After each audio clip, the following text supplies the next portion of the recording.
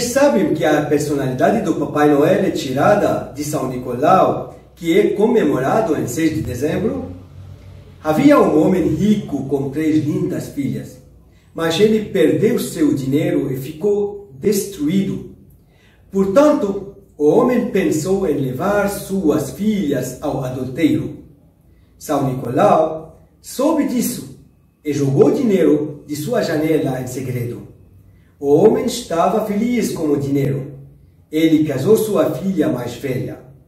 O santo repetiu a ação e o homem casou a filha mais nova, ainda muito surpreso. Quando o santo voltou pela terceira vez, o homem o agarrou.